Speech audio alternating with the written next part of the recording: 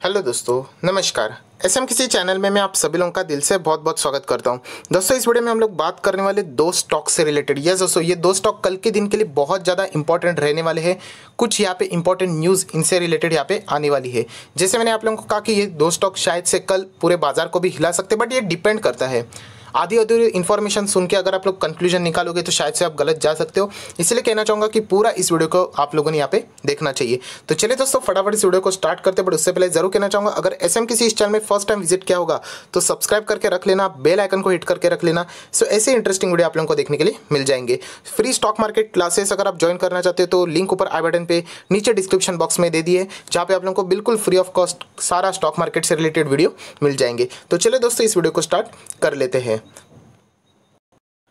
सो दोस्तों, सबसे पहले यहाँ पे कल के दिन से रिलेटेड कोई इंपॉर्टेंट स्टॉक रहेगा तो डेफिनेटली विप्रो ये रहने वाला है, क्योंकि आप सभी लोग पता है, विप्रो कि कल बोर्ड मीटिंग वापस कंटिन्यू होते हुए देखने को मिलेगी। एंड वहाँ पे विप्रो की जो बोर्ड है, वो बायबैक से रिलेटेड शायद से कोई तो अनाउंसमेंट कर सकता है। इसलिए मैंने कहा कि ये हिला, पूरा बाज़ार को हिला सकता है। एंड ऐसा क्यों? अगर बायबैक अगर कोई बड़ा बायबैक आता है टेंडर वाला सो so डेफिनेटली जैसे कि हम लोगों ने टीसीएस में देखा था कि सौ पॉइंट डेढ़ सौ पॉइंट की जंप देखने को मिली थी, वैसे ही विप्रो में भी आप लोगों को अच्छी जंप देखने की उम्मीदें यहाँ पे बढ़ जाएगी। बट जैसे मैंने कहा कि अगर उम्मीद के और विप्रो अगर खड़े नहीं उतरते मतलब बायबैक तो लाते हैं बट रिक्वायरमेंट के हिसाब से एक्सपेक्टेशन के हिसाब से अगर नहीं लाते हैं तो डेफिनेटली बाज़ार का मूड खराब हो जाएगा एंड शायद से हम लोग को करेक्शन भी देखने को मिल सकता है। तो इसलिए मैंने कहा कि ये जो न्यूज़ है, वो बहुत ही ज़बरदस्त पॉजिटिव हो सकती है। तो इसीलिए हम लोगों को यहाँ पे देखना है कि विप्रो कल किस तरीके से परफॉर्मेंस यहाँ पे दे सकता है।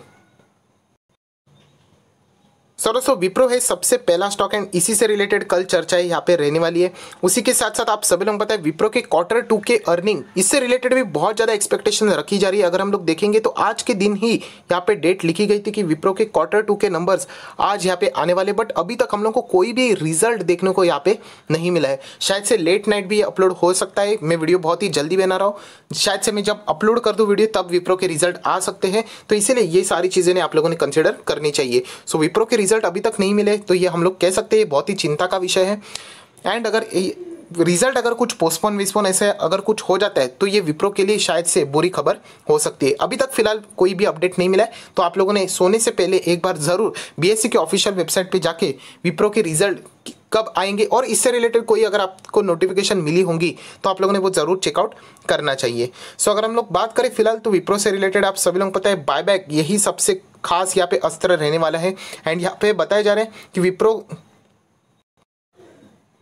अपने क्वार्टर टू के नंबर के साथ साथ मतलब क्वार्टर टू के नंबर शायद से इनके बहुत अच्छे आ सकते हैं एंड उसी के साथ साथ बायबैक का भी बहुत एक अच्छा अनाउंसमेंट यहाँ पे शायद से कर सकता है। विप्रो की बैलेंस शीट में ऑलरेडी आप लोगों को दिखा चुका हूँ, बहुत ही फंडामेंटली स्ट्रॉन्ग बैलेंस शीट है। रिज़र्व हो कैश हो, बहुत ही कंपनी के पास इसका कोई भी कमतरता नहीं है। बोनस की बात करें तो चौदह बार इस कंपनी ने बोनस दे दिया है एंड इस वक्त शायद से बायबैक के हिसाब से ये अपने शेयर होल्डर को वापस मालामाल कर सकता है। अभी बायबैक कितने प्राइस पे आएगा, इसी के ऊपर सभी लोगों की यहाँ पे नज़रें रहने वाली है। एंड उसी के साथ साथ विप्रो के जो क्वार्टर टू के नंबर्स के और उनके जो गाइडलाइंस क्या है, उसके ऊपर सभी लोगों की निगाहें रहने वाली है। सो दोस्तों, विप्रो से रिलेटेड कल बहुत ही ज़्यादा इंपॉर्टेंट दिन है तो इसके ऊपर आप लोगों ने फोकस ज़रूर रखना है। दोस्तों, उसके बाद अगर कोई दूसरा स्टॉक है तो उसका नाम है इन्फोसिस यस दोस्तों इन्फोसिस ऐसा क्यों कल कुछ क्यों होने वाला है? सो ऐसा बिल्कुल भी नहीं, कल है तेरह तारीख, तेरह अक्टूबर। एंड अगर विप्रो विप्रो के बाद अगर कोई बड़ा आईटी कंपनी है टीसीएस हो गया, विप्रो हो गया तो उसके बाद अगर मैं बात करूँ तो चौदह तारीख को इन्फोसिस अपने नंबर पेश करने वाला है। तो शायद से विप्रो अगर कोई बड़ी अनाउंसमेंट कर दे सो कल तेरह तारीख को रिज़ल्ट के पहले ही इन्फोसिस में भी हम लोगों को शायद से कुछ बड़ा मूवमेंट होते हुए देखने को मिल सकता है। यहाँ पे उम्मीदें रखी जा रही कि इन्फोसिस भी कुछ अच्छा कॉर्पोरेट अनाउंसमेंट यहाँ पे शायद से कर दे। तो डेफिनेटली हम लोग कह सकते हैं इन्फोसिस में भी तेज़ी देखने को मिल सकती है। रिज़ल्ट के मामले में बताया जा रहा है कि ये टीसीएस से भी बेहतर नंबर पेश कर सकता है। तो इसीलिए शायद से जो लोग बहुत ही एग्रेसिवली ट्रेडिंग करते हैं, वो शायद से एक दिन पहले ही यहाँ पे इन्फोसिस में चाहे तो बाइंग करके रख सकते हैं। बट एक बहुत ही रिस्की बेट होता है, क्योंकि अगर रिज़ल्ट एज पर एक्सपेक्टेशन नहीं है सो इसमें हम लोग को करेक्शन देखने को मिल सकता है। लॉन्ग टर्म के हिसाब से आप सभी लोगों पता है हम लोगों का रिटर्न्स कितना है? वो आप सभी लोगों को पता है। आप लोग चाहो तो अपने ही पोर्टफोलियो को वहाँ पे देख सकते हो। सो दोस्तों इन्फोसिस से रिलेटेड एक अच्छी न्यूज़ भी हम लोगों को देखने को मिली है।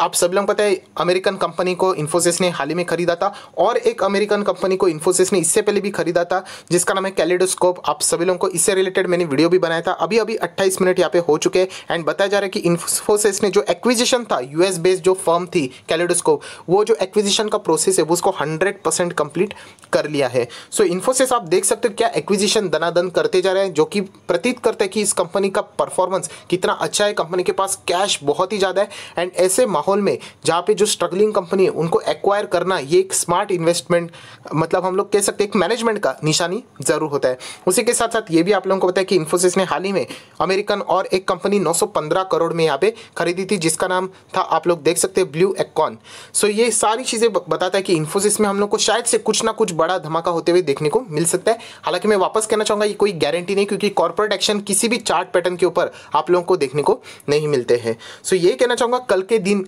की जो तारीख है, वो तो है तेरह तारीख। एंड तेरह तारीख में एज सच अगर हम लोग यहाँ पे देखा जाए सो आप लोग देख सकते हैं।